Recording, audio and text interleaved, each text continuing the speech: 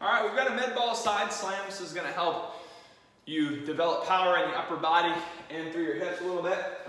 So, what we're gonna do is grab a lighter med ball.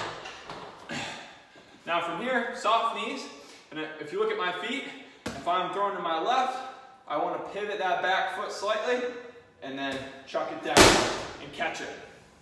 So I'm gonna show you a few and cue you throughout it. So here, pivot, through my arms, returning back, pivoting the back foot. Big exhale down. And as I exhale hard, my core is gonna tighten up. You can modify this a little bit and drive with your hips.